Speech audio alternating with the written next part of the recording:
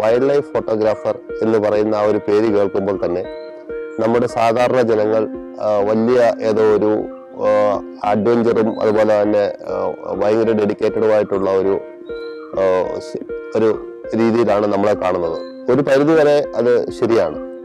Wild life photographer കുറച്ച് adventurous ആണ്. അതുപോലെ തന്നെ അവരുടെ ജീവിതത്തിൽ പലവിധ ബുദ്ധിമുട്ടുകളും ഈ കാട്ടിനകത്ത് കയറുമ്പോൾ ഉണ്ടാകാറുണ്ട്. നമ്മൾ ഇന്ന് പറയാൻ പോകുന്നത് എന്താണ് നമ്മൾ കാടിനെ കുറിച്ച് അറിയേണ്ടതും? എന്താണ് നമ്മൾ കാട്ടിൽ പാലിക്കേണ്ട ധർമ്മങ്ങൾ? എന്താണ് നമ്മുടെ കാടിന്റെ നിയമങ്ങൾ? ഇതാണ് നമ്മൾ ഇന്ന് ഡിസ്കസ് ചെയ്യുന്നത്.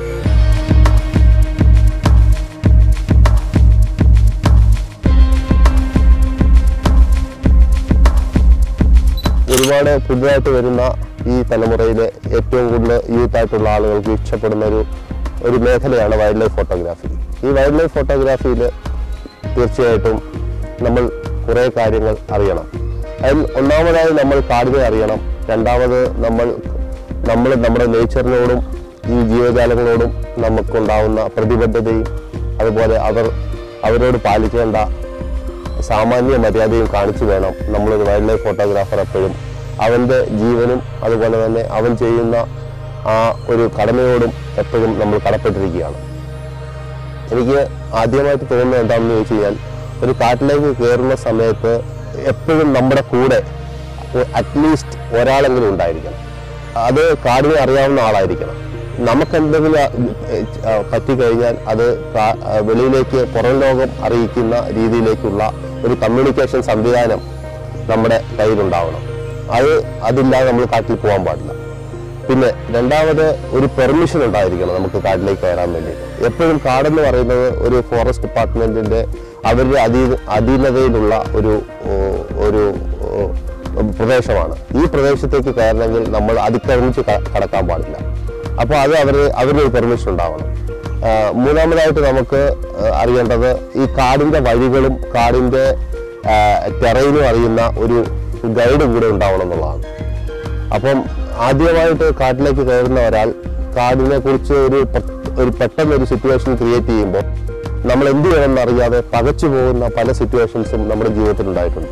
അപ്പോൾ അതിനെ ഓവർകം ചെയ്യണമെന്നുണ്ടെങ്കിൽ നമുക്ക് ആ കാടിന്റെ വഴികൾ അറിഞ്ഞിരിക്കണം. വഴികൾ അറിഞ്ഞില്ലെങ്കിൽ പോലും നമ്മൾ കയറുന്ന സമയത്ത് സൂര്യൻ ഉദിക്കുന്നതും സൂര്യന്റെ ആ, അസ്തമിക്കുന്നതുമായ ദിക്കുകൾ നമ്മൾ മനസ്സിലാക്കി വെക്കണം.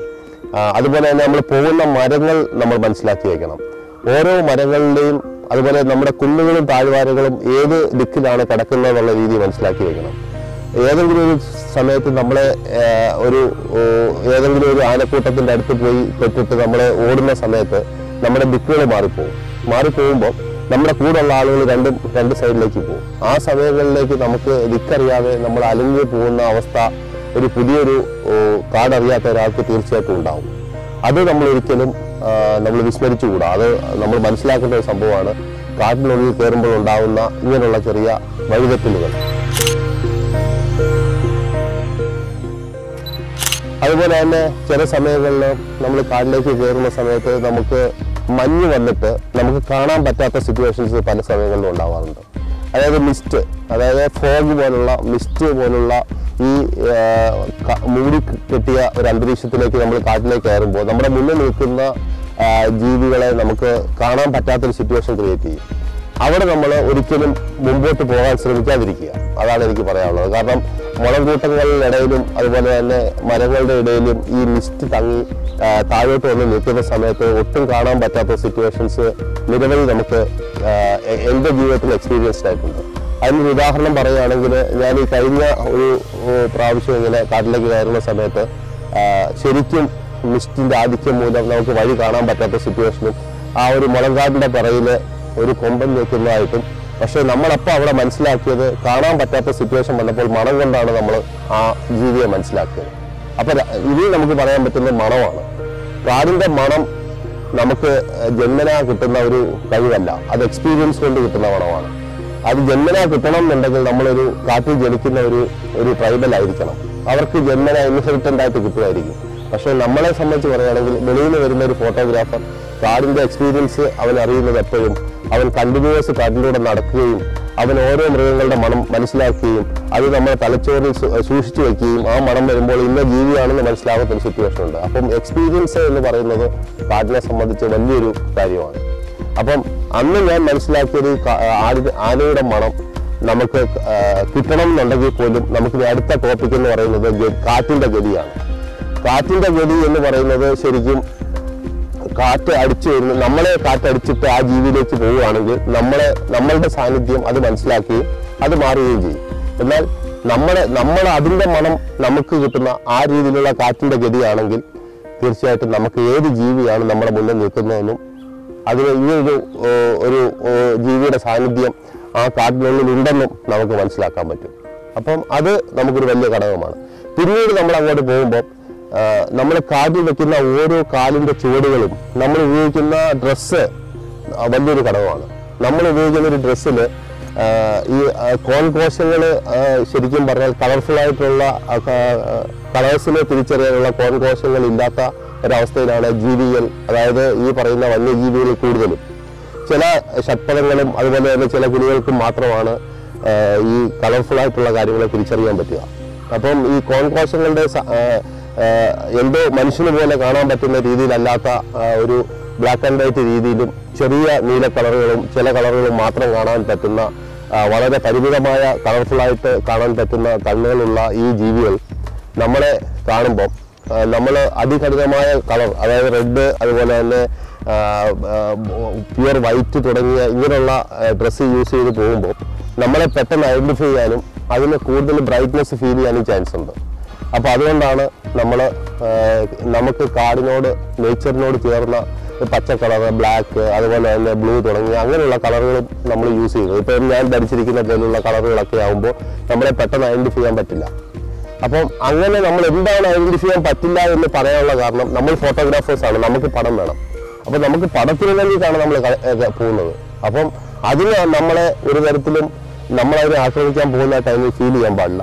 തിരിച്ച് നമ്മളതിനെ നമുക്കതിനെ വളരെ ഫ്രണ്ട്ലി ആയിട്ട് അതിന്റെ ഫോട്ടോ എടുക്കാൻ പറ്റുന്ന രീതിയിലേക്ക് അതിന് അടുത്ത് ചെല്ലാനും പറ്റണം. അപ്പോൾ ഒരിക്കലും ഒരു ജീവിയോട് നമ്മൾ അല്ലെങ്കിൽ ഒരു ജീവിയുടെ സാന്നിധ്യം ഉണ്ടെന്ന് അറിഞ്ഞു കഴിഞ്ഞാൽ നമ്മൾ വെക്കുന്ന ഓരോ ചുവടുകളും കാലിന്റെ ഓരോ ചുവടുകളും വളരെ പതുക്കെയും അതുപോലെ വെക്കുന്നത് ഒരു ഇലയുടെ പുറത്താണെങ്കിൽ ഇല എരിഞ്ഞ് അമർന്ന് പൊട്ടുന്ന രീതിയിലേക്ക് ഒരു സൗണ്ട് ക്രിയേറ്റ് ചെയ്യാതിരിക്കുക. ഒരു ഒടിഞ്ഞു കിടക്കുന്ന മരത്തിന്റെ കൊമ്പിലേക്ക് നമ്മൾ ഉണങ്ങിയ മരക്കൊമ്പ് താഴെ കിടക്കുമ്പോൾ അതേ ചവിട്ടിയിട്ട് അത് ഒടിക്കാതിരിക്കുക. വെക്കുന്ന ഓരോ ചലനങ്ങളും മെതുവായിരിക്കണം നമ്മളിപ്പോൾ ഒരു വീഡിയോഗ്രാഫർ എങ്ങനെയാണോ അവൻ ചലനങ്ങളില്ലാതെ ഒരു വീഡിയോ എടുക്കുന്ന പോലെയുള്ള നടത്തമുണ്ടല്ലോ. അതുപോലെയുള്ള നടത്തത്തിലൂടെയാണ് നമ്മൾ മുമ്പോട്ട് പോവുക. പിന്നെ നമ്മൾ പെട്ടെന്ന് തന്നെ ഒരു ഒരു മണം കൊണ്ട് നമ്മൾ കാട്ടിലേക്ക് ഒരു മണം കൊണ്ട് നമ്മളൊരു ജീവിയെ കണ്ടു കഴിഞ്ഞാൽ നമ്മൾ പിന്നെ അതിന്റെ ലൊക്കേഷൻ അതെവിടെയാണ് ലൊക്കേറ്റ് ചെയ്യുന്നതാണ് നമ്മുടെ അടുത്ത ചിന്ത. അങ്ങനെ നോക്കുമ്പോൾ ലൊക്കേഷൻ കിട്ടാൻ വേണ്ടിയിട്ടാണ് നമ്മളെ പെട്ടെന്ന് സൗണ്ടിനെ കുറിച്ച് ചിന്തിക്കുന്നത്. ഈ സൗണ്ട് കാടിലെ ഏറ്റവും വലിയ ഒരു നമ്മൾ മനസ്സിലാക്കേണ്ട സംഭവം കാടിന്റെ സൗണ്ട്. അതായത് ഒരു ഒരു കോഴി കാട്ടുകോഴി അലയ്ക്കുന്ന സൗണ്ട് മലയെണ്ണാൻ അലയ്ക്കുന്ന സൗണ്ട് അതുപോലെ തന്നെ ബാർക്കിംഗ് ഡിയർ അതുപോലെ തന്നെ നമ്മുടെ കുരങ്ങുകൾ ലങ്കൂറും അതുപോലെ തന്നെ മക്കാക്ക് തുടങ്ങിയ കുരങ്ങുകളുടെ സൗണ്ട്. ഇതെല്ലാം നമ്മൾ വാച്ച് ചെയ്യണം. അപ്പോൾ എപ്പോഴും മരത്തിന്റെ മുകളിൽ ബാക്കിയുള്ള ജീവികൾക്ക് ദൈവം ഒരു ഇൻഡിക്കേഷൻ കൊടുക്കാൻ വേണ്ടി പരസ്പരം പൂരിതമായ ഈ മൃഗങ്ങൾ തമ്മിൽ ഒരു കമ്മ്യൂണിക്കേഷൻ ഉണ്ട്. ഈ കമ്മ്യൂണിക്കേഷൻ ഇന്ന് നമുക്ക് മൊബൈൽ വഴി മനുഷ്യർ തമ്മിൽ സമ്പാദിക്കുന്നത് പോലെ തന്നെ ഈ ജീവികൾ ഉണ്ടായ കാലം മുതൽ തന്നെ ഈ മൃഗങ്ങൾ തമ്മിൽ പരസ്പരമായിട്ട് ഒരുപാട് കമ്മ്യൂണിക്കേഷൻസ് ഉണ്ട്.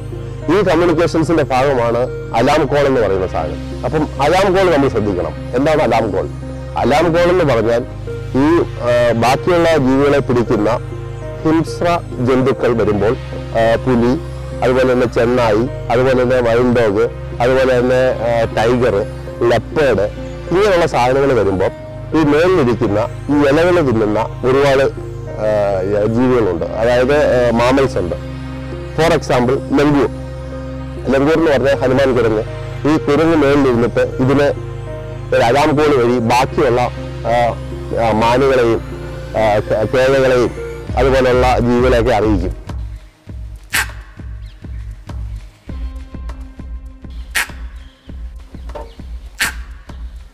ആ അലാം നമുക്ക് നൂറ് ശതമാനം ടൈഗറാണോ ആണോ വൈൽഡ് ഡോഗ് ആണോ എന്ന് അറിയാൻ വേണ്ടിയിട്ട് നമ്മൾ ഈ ഇതിന്റെ ഫേസിലേക്ക് നോക്കിയാൽ മതി. ഈ എപ്പോഴും ഈ കുരങ്ങുകളുടെ ഫേസിലേക്ക് നോക്കുമ്പം കുരങ്ങ് അതിലേക്ക് നോക്കിയിട്ടാണ് അലാം അടിക്കുക അപ്പൊ നമുക്കറിയാൻ പറ്റും ഇന്ന ഡയറക്ഷനിൽ ഇന്നൊരു സാധനമുണ്ട്. അത് ഈ പറയുന്ന ലെപ്പേഡോ ടൈഗറോ എന്തെങ്കിലും ആണ് എന്ന് നമുക്ക് മനസ്സിലാവും. പിന്നെ നമ്മളുടെ നമ്മൾ പിന്നെ ശ്രദ്ധിക്കേണ്ട ഒരു കാര്യം എന്ന് പറയുന്നത് ഈ അലാം കോൾ ഏത് ഡയറക്ഷനിലേക്കാണ് വരുന്നത്. ആ ഡയറക്ഷൻ അനുസരിച്ചായിരിക്കും അതിന്റെ മൂവ്മെന്റ് ഇപ്പം കണ്ടിന്യൂസ് ഒരു ലങ്കൂർ അലാം കോൾ അടിച്ചുകൊണ്ടിരിക്കുകയാണ് അവൻ മരത്തി കിടന്ന കൊമ്പിലേക്ക് എടുത്ത് ചാടുകയാണ്. എങ്കിൽ നമ്മൾ മനസ്സിലാക്കും അത് വളരെ അടുത്തെത്തി എന്ന് മനസ്സിലാക്കും. അതേസമയം ഒരു അലാം കോൾ വളരെ ഒരു ഓരോ അഞ്ച് മിനിറ്റ് അല്ലെങ്കിൽ പത്ത് മിനിറ്റ് കഴിഞ്ഞിട്ടാണ് കുറേ ഗ്യാപ്പ് ഇട്ടിട്ടാണ് അടിക്കുന്നതെങ്കിൽ നമുക്കറിയാം അത് അവിടെ റെസ്റ്റ് ചെയ്യുകയാണ്. അതുകൊണ്ട് ആ റെസ്റ്റ് ചെയ്യുന്ന പൊസിഷനിൽ അവനവിടുന്ന് മൂവ്മെന്റ് ഇല്ല എന്ന് നമുക്ക് മനസ്സിലാക്കാം. ഇനിയും അതല്ല ഈ ബാർക്ലീഡിയർ എന്ന് പറയുന്ന ഒരു മൃഗമുണ്ട്. അതായത് കേഴ കേഴമാൻ. ഈ കേഴമാന് ശരിക്കും ഇതിന്റെ ഒരു പ്രത്യേകതയുണ്ട് കേഴമാന് അതിന്റെ സൗണ്ട് കേട്ട് കഴിയുമ്പോൾ അത് ഈ ഈ നമ്മളെ ഇതിനെ പിടിക്കാൻ വരുന്ന ടൈഗറോ ലെപ്പോറിന്റെ മുന്നിൽ നടന്നിട്ടാണ് അതിങ്ങനെ സൗണ്ട് ഉണ്ടാക്കി ഉണ്ടാക്കി ആ ഡയറക്ഷനിൽ ഇങ്ങനെ വന്നുകൊണ്ടിരിക്കും. അപ്പോൾ നമുക്ക് മനസ്സിലാവും അത് നമ്മുടെ ഡയറക്ഷനിലാണ് വരുന്നതെന്നുള്ളത്. ഈ കേഴമാന്റെ സൗണ്ട് കണ്ടാൽ അപ്പം നമുക്ക് മനസ്സിലാവും.